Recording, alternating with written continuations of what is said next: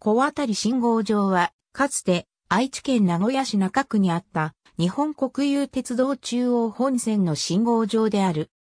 中央本線鶴舞駅名古屋駅間に1962年まで存在し、1930年まで名古屋駅方面を経由せずに東海道本線厚田駅方面と中央本線畜佐駅方面を結ぶ東海道本線の貨物支線の合流地点となっていた。現在の金山駅の前身である。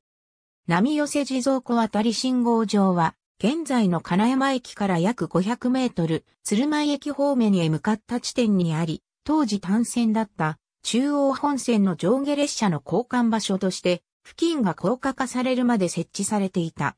なお、金山駅はこの信号場の格上げ扱いで新設された。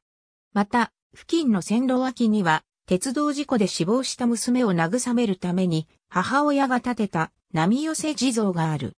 信号場のあった場所は、現在、一部は指導になり、辿ることは可能であり、鶴舞寄りの橋脚には、小当たり橋梁の名が残る。小当たりの名は、現在の中区、中川区に至る地名であり、山王信号場付近にある堀川の小当たり橋が由来ではない。最寄りになるバス停は、向田町、流暢であり、現在の金山五丁目にあった。ありがとうございます。